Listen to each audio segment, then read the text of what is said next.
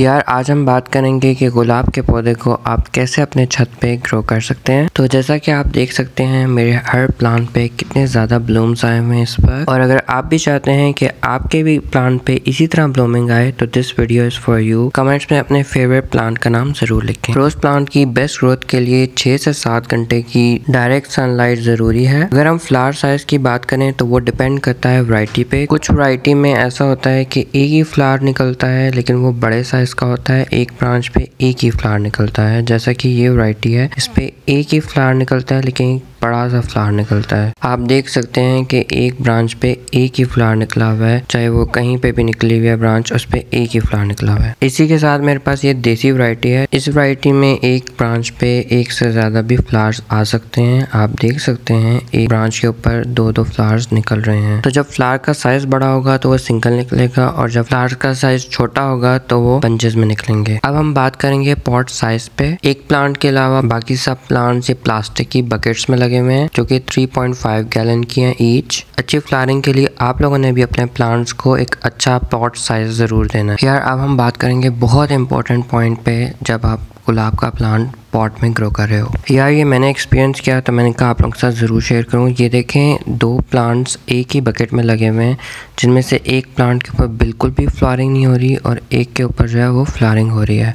तो यार, जब हम गुलाब के प्लांट्स को, दो प्लांट्स को एक ही पॉट में लगा देंगे तो एक प्लांट जो है वो दूसरे प्लांट को स्टॉप कर देगा उसकी ग्रोथ को और उस पर बिल्कुल भी फ्लावर्स नहीं निकलेंगे। सेम सीन जो है वो मेरे इस येलो और ऑरेंज प्लांट में है, जिनमें दोनों एक दूसरे को कम्पीट कर रहे हैं तो इसीलिए दोनों में एक एक फ्लावर आया हुआ है। तो हमेशा ये बात याद रखनी है कि एक पॉट में एक ही प्लांट ग्रो करना है, वही अच्छे से ग्रो होगा। तो एग्ज़ाम्पल के तौर पे ये देखो, ये प्लांट है, ये सिंगल है और एक छोटे पॉट में लगा हुआ है बट इसके ऊपर आप देखो कितनी ज़्यादा फ्लारिंग हो रही है और कितनी ज़्यादा फ्लावरिंग बर्ड हैं। वो सिर्फ़ इसलिए क्योंकि ये एक ही प्लांट एक ही पॉट में लगा हुआ है। अब हम बात करेंगे कि रोज़ प्लांट के पॉट को आप लोगों ने कैसे क्लीन रखना है और इसके क्या फ़ायदे हैं। जब भी आप प्लांट्स ग्रो करते हैं तो उनके नीचे कुछ जंगली प्लांट्स ग्रो हो जाते हैं। इन प्लांट्स को आप लोगों ने महीने में दो दफ़ा निकाल देना है पॉट से।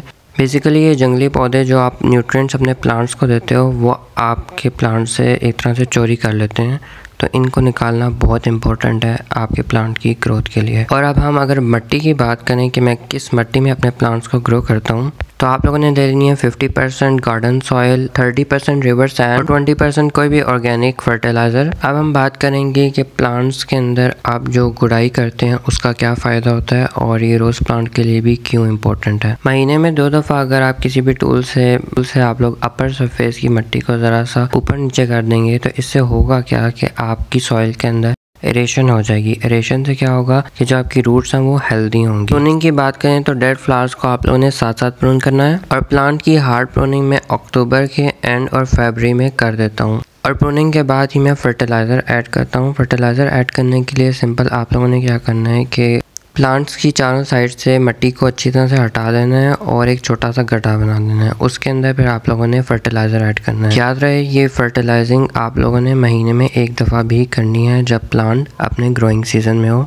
और रोज़ के प्लांट्स यूजली विंटर में ही फ्लावरिंग ज़्यादा करते हैं। क्योंकि मैं ऑर्गेनिक गार्डनिंग करता हूँ, इसलिए मैं चिकन पूप फर्टिलाइज़र यूज़ कर रहा हूँ। आप कोई भी गाय का गोबर या कोई भी कंपोस्ट वगैरह यूज़ कर सकते हैं प्लांट को फर्टिलाइज करने के लिए। बस एक बात का ध्यान रखना है कि जो आप फर्टिलाइज़र यूज़ करें वो अच्छी तरह से डिकम्पोज और वीक में एक दफ़ा मतलब हफ़्ते में एक दफ़ा मैं ये भी देता हूँ, ये लिक्विड ऑर्गेनिक फर्टिलाइज़र है। और इसका रिज़ल्ट आपके सामने है। इसको बनाने के लिए सिंपल आप लोगों ने कोई भी खा लेनी है और उसको आप लोगों ने पानी में भिगो देना है। दो से तीन दिन के लिए। दो तीन बाद दो तीन दिन बाद आप लोगों ने ये अपने प्लांट्स में देना है। अच्छा याद रहे कि आपने अपना हाथ इसके साथ टच नहीं करना, वरना आपके हाथों से काफ़ी ज़्यादा स्मेल आएगी। ये समझ लें वीक में एक दफ़ा आप प्लांट को खाना दे रहे हैं। तो यार, रोज प्लांट के ऊपर भी बाकी प्लांट्स की तरह कीड़ों का मतलब पेस्ट का हमला होता है। इसीलिए आप लोगों ने वीक में एक दफ़ा इसके ऊपर नीम ऑयल का स्प्रे भी करना लेकिन अगर इन्फेस्टेशन ज़्यादा हो गई है तो आप लोगों ने क्या करना है? एक पुराना टूथब्रश ले लेना है। और बड़े बड़े प्यार से आप लोगों ने ये जितने भी कीड़े हैं, इनको हटा देना है। जिस तरह जंगली प्लांट्स को रिमूव करना इंपॉर्टेंट है, वैसे ही ये जितने भी कीड़े वगैरह ये रिमूव करना बहुत इंपॉर्टेंट है, क्योंकि ये भी न्यूट्रिएंट्स को एब्जॉर्ब कर रहे होते हैं। जिसकी वजह से आपका प्लांट स्ट्रेस में रहता है और वो ठीक तरीके से ग्रो नहीं कर पाता